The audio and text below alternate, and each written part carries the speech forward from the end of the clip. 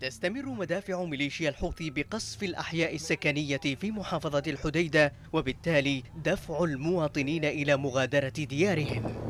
خلال الأشهر الأربعة الماضية فقط نزح قرابة الستمائة ألف شخص جراء القتال في محافظة الحديدة بحسب تقرير أخير أطلقته الأمم المتحدة.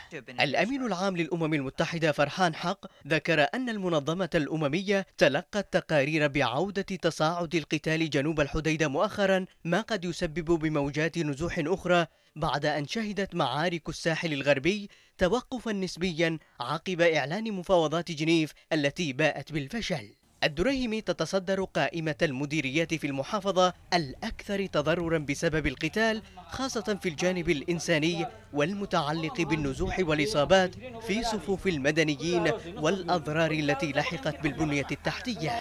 هذه العائلة عينة من بين مئات الحالات الإنسانية في مديرية الدريهمي حيث تسببت قذائف الميليشيا بمأساة دائمة.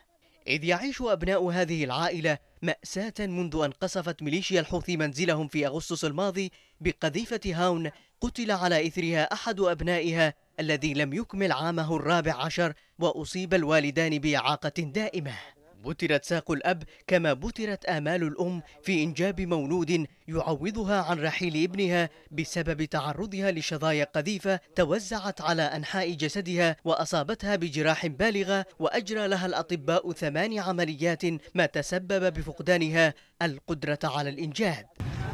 ليست هذه العائلة الوحيدة التي حفرت رصاص الميليشيا الحوثية جراحها.